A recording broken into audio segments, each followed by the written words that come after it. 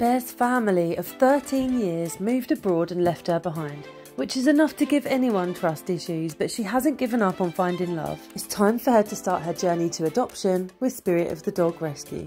Being an older lady, we really didn't want her to have to go through the kennel process. This meant getting a really good chunk of her assessments done while she was still with her temporary caregiver Jess, who handed her in to us all in preparation for her going to an experienced foster home. Bear was winning the hearts of everyone she met in the office at Rinse FM, where she was going every day to work with Jess. Whilst Jess did have a timescale in mind of how long she would have Bear, we're really grateful that she extended it to give us plenty of time to get to know her.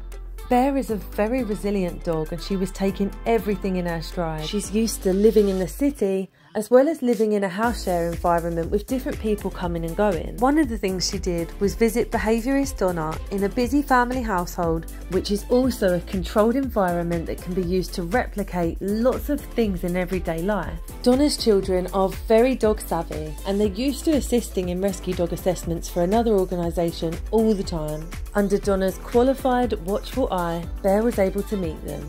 Another important part of assessments is to do with health and pain management. Bear is a little bit older, she does seem to have some arthritis in her joints and she's been bred from. She's quite saggy underneath and she's got some lumps in her mammary glands which will need to be removed and tested.